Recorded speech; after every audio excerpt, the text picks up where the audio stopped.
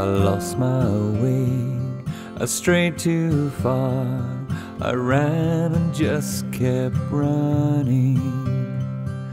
Now I'm lost and so alone.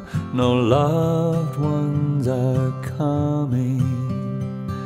I don't even know how I got here, but I wish I could go home. But you could help me, though you might not feel it's true. And I hope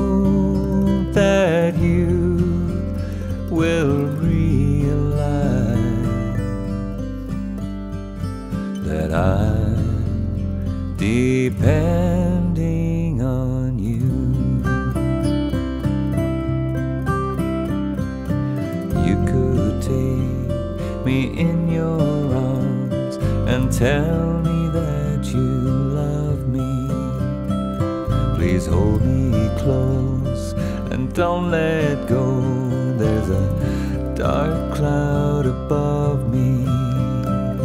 I won't survive without your love. Oh, won't you take me home? Oh, you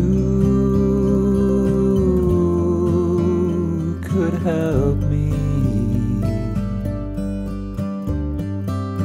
Though you might not feel it's true.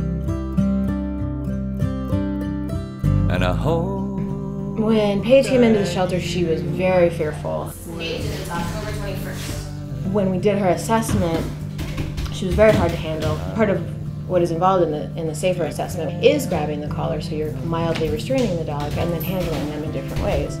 Well, Paige really didn't like that. Um, lots of leash biting, a lot of jumping up on me, a lot of mild mouthing of my arms, just really resistant to staying in that position I needed her to stay in.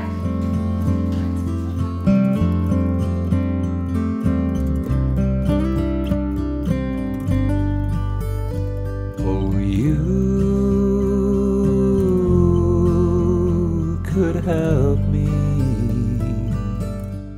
after the basic care is done, after they've got food and water and shelter, how do you really, really help them? Um, and the training does that. It gives them the skills to be calmer, to, to go to a home and really succeed. Um, it just kind of closes the loop, you know? Uh, and I think everybody here wants to save animals as well, and the training is life saving.